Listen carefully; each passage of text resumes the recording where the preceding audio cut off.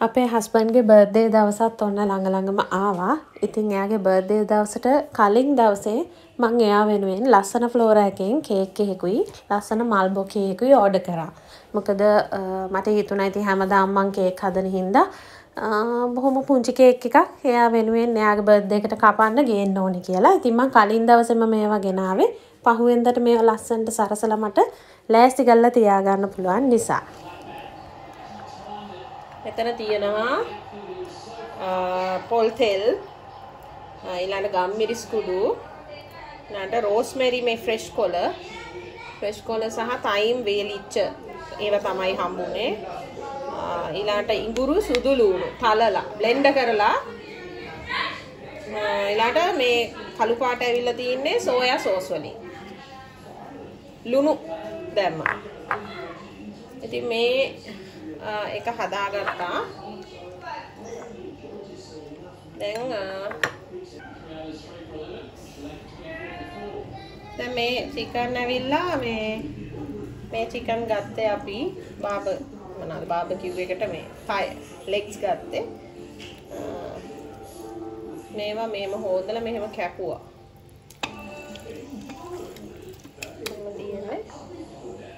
දැන් මේක එහෙම දාන්න.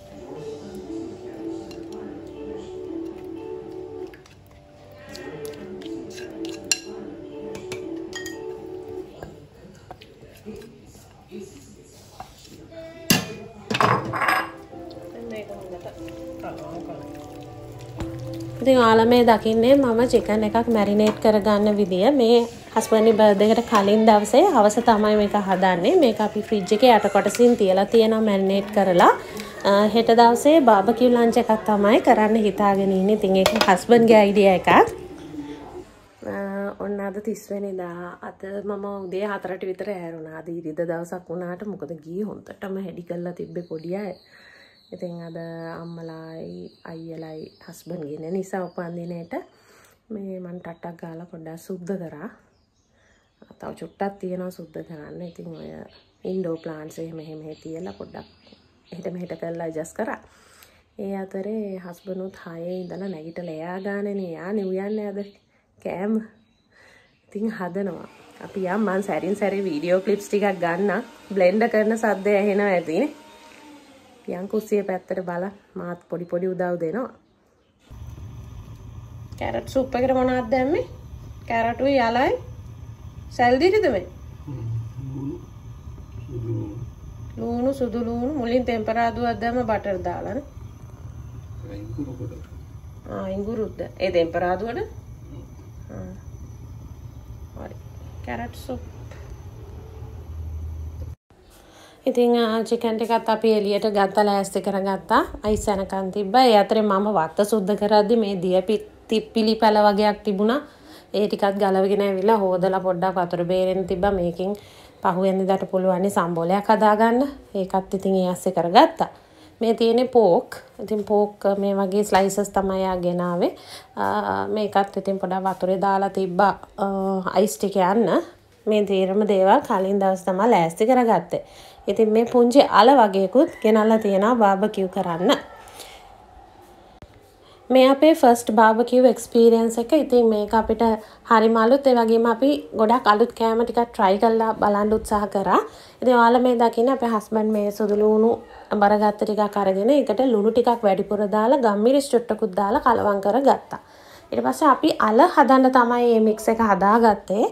මේක තමයි හදන ක්‍රමේ චූටි අලගෙඩි අරගෙන හොඳට සෝදලා මැද්දෙන් පලලා පුංචි සිදුරු දෙකක් හදාගන්නවා මේ වගේ. ඊට පස්සේ එක සිදුරකට අර සුදුලූණු මික්ස් එකෙන් චුට්ටක් දානවා. අනිත් පැත්තේ සිදුරට බටර් චුට්ටක් දානවා. ඊට පස්සේ දෙක එකට හාවෙන්ඩ ලං කරලා ෆොයිල් එක ඔතලා බාබකිව් එකට තියෙනවා පිච්චෙලා තැම්බිලා එන්න. ඉතින් මේ ක්‍රමේදී පොත්ත ගලවන්න ඕනේ නැහැ. ඔයාලට තැම්බුණාට පස්සේ පොත්ත ඉවත් කරගන්න පුළුවන්. එහෙම නැත්නම් හොඳට පොත්ත හොඳට සෝදලා කරලා ගත්තාම පොත්ත ඉවත් කරන්න අවශ්‍ය නැහැ. ඉතින් අපි පොඩ්ඩක් අපි මේ ක්‍රමයට හදලා ටේස් කරලා බැලුවා. කාලා බැලුවා. අපිට නිකින් ලුණු මදි ගතියක් ආවා. ඊට පස්සේ අපි මේ විදිය නවත්තලා අපි ඔය විදියටම අලගෙඩිය දෙකට කපලා ලුණු වතුරේ බැස්සුවා. ටිකක් සාන්ද්‍ර ලුණු වතුරක බස්සලා ඒ නිකම් පොංගෝල වගේ අරගෙන ඊට පස්සේ ඔය ක්‍රමයටම දෙපැත්තට බටරුයි සුදුලුණු මික්ස් එකයි දාලා දෙක එකට ලං කරලා ෆොයිල් කොලේ යොතලා බාබකිව් එකට තිබ්බා. ඉතින් ඔය විදිහට තමයි ඊට පස්සේ ටික කරේ. එතකොට චුට්ටක් අර ලුණු අඩු ගතිය අඩු වුණා. නමුත් ඉතින් වෙනස් අර අපි බලාපොරොත්තු වෙන විදිහටම ලුණු අල්ලලා අල කණ්ඩ එහෙම ලැබෙන්නේ නැහැ. නමුත් පොඩි වෙනස් රසයක් තියෙනවා ඒකෙත්. ඊළඟට අපි දැන් ඔන්න ලෑස්ති කරගන්නවා මේක. දැන් ගින්දර දාලා දැන් හොඳට රත් වෙලා තියෙන්නේ. දැන් බැල මේ කුඩින් තියලා අපේ අවශ්‍ය දේවල් ටික බාබකියු කරන්නයි යන්නේ.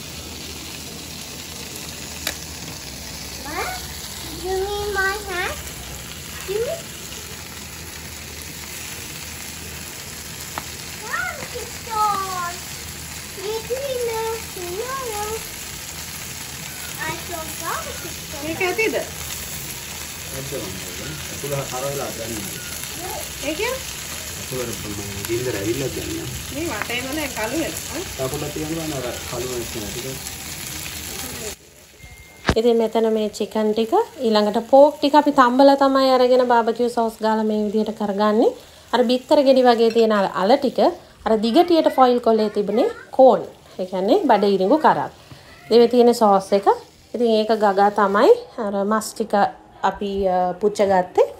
ඊට අමතරව මම මෙන්න මේ සැලඩ් එක හැදුවා මෙතන දම් ගෝවා නෝමල් ගෝවා ඊළඟට කැරට් බෙල් පෙපර් ලූණු ඒ ටික තියෙනවා. ඒකට මම 1000 island dressing එකයි මයොනීස් ටිකුයි දාලා ලුණු ගම්මිරිස් දාලා මේක හදාගෙන තියෙන්නේ රසට. රසට ආව මේ සැලඩ් එකත්. ඉතින් පුළුවන් විදියට හදපු කෑමවල වීඩියෝ ක්ලිප්ස් ටිකක් ගත්තා. හරිම මහන්සි දවසක්. ඉතින් ටේබල් එක ලෑස්ති කරාම මෙන්න මේ විදියටයි තිබුණේ. මම ප්ලේට් එක මේ විදියට සැලඩ් ලීව්ස් උඩ අර මස් ටික ඩිස්ප්ලේ කරා. ඊළඟට ඉස්සෝ ටික හදන් ආවේ නම් හස්බන්ඩ්ගේ අම්මා ඒකත් හරිම රසයි. ඊළඟට මේ තියෙන අල ටිකයි බඩේරිඟු ටිකයි ඒවා ෆොයිල් එක්කම තිබ්බා. ඒතකොට ගන්න කෙනාට ඒක ගලවගෙන කන්න පුළුවන් හින්දා. ඊළාට හස්බන්ඩ්ටක් ගාලා ගාලික් බ්‍රෙඩ් ටිකකුත් පුතු බේක් කරගත්තා. මේ තියෙන කැරට් සුප් එක අපි බ්ලෙන්ඩ් කරලා වතුර දාලා ආයෙත් පොඩ්ඩක් රත් කරලා රසට හදාගත්තා. ඊට පස්සේ අර සැලඩ් එක. ওই ටික තමයි ලන්ච් එකට අපි ලෑස්ති කරේ. ටිකක් හැමදාම කනවා වගේ නෙමෙයි පොඩි වෙනසක්. ඊට අමතරව ඉතින් අම්මා තායි තාත්තටයි මේවා කාලා මදිනේ මම කහ බතකුත් හිමින් සීරුවේ හදාගත්තා. ඉතින් ඔන්න ඔහොම තමයි අපේ ස්පෙෂල් බාබකිව් බර්ත්ඩේ ට්‍රීට් එක නේ. කෙනෙක්ට හිතන්න පුළුවන් කොහොමද මේ බඩඉරිඟු ටික බාබිකියු කළේ කියලා මම එකත් කියන්නම් කෙටියෙන්. බඩඉරිඟු කරල් ටික ලුණු වතුරේ බස්සලා අරගත්තා. ඊට පස්සේ ඒක වටේ බටර් ගාගත්තා. ඊට පස්සේ ඒක ෆොයිල් එක කොතලා තමයි අර විදියට පුච්ච ගත්තේ. ඉතින් ඒක එහෙමයි. අද ඉතින් චුට්ටක් මහන්සි දවසක් මොකද මේක අපේ ෆස්ට් එක්ස්පීරියන්ස් එක. ඒ වගේම අපි හදන්න තීරණය කරපු කෑමක් ටිකක් වෙලා යන කෑම. ඉතින් අපි දෙන්න තනියෙන් කරගත්ත හින්දා හරිම මහන්සි. නමුත් සතුටුයි මොකද විශේෂ දෙයක් කරලා අත්දැකීමක් ගන්න පුළුවන් වීම ගැන. ඉතින් ඒ ඇස්සේ මේ අපේ හස්බන්ඩ්ගේ යාළුවෙක් යාට කේක් එකක් එවලා තිබුණා. ඒකත් ඒ අතරේ හම්බ වුණා. මොනවාද? කණ්ඩෝනේ ඉන්න තාත්තා කපුවාම අපි කමු. ඔයාට තමයි චොක්ලට් කේක්. මොනවාද දුලිතෝ ඒ කන්නේ? අම්මේ. ළඟින් භාජනේ ළඟින් තියන් කන්න. ඉතින් හස්බන්ගේ උපන්දිනය දවස එයාගේ දෙමව්පියන්ට අයියන් අයියට හොඳින් සංග්‍රහ කරන්න අපිට පුළුවන් වුණා දරුවොත් සතුටු වුණා මගේ දෙමව්පියන්ටත් ඒගොල්ලන්ගේ පංගුව යවන්න අපි අමතක කළේ නෑ ඉතින් මහන්සි වුණත් සන්තෝෂෙන් දවස් අවසන් කරන්න අපි දෙන්නට පුළුවන් වුණා. පුංචි වීඩියෝ එකකුත් කරගන්න ලැබීම හරිම සතුටක්. ඉතින් ඔයාලටත් මොනවාම හරි අයිඩියා එකක් මේ වීඩියෝ එකෙන් ලැබෙන්න ඇති කියලා මම විශ්වාස කරනවා. නා අපහු දවසක ඉක්මනටම වීඩියෝ එකක් අරගෙන එන්න. හැමෝම පරිස්සමෙන් ඉන්න.